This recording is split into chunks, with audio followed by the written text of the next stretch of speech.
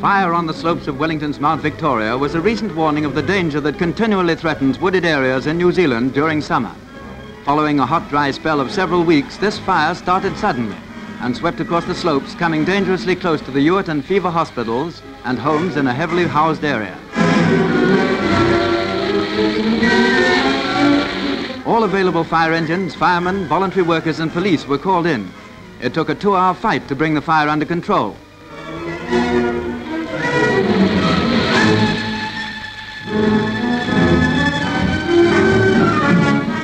The firefighters, it was a tough fight.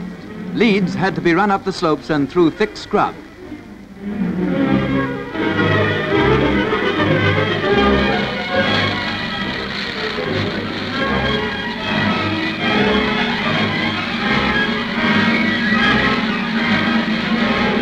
Beaters on the lower slopes fought to stop the fire crossing roads and spreading further.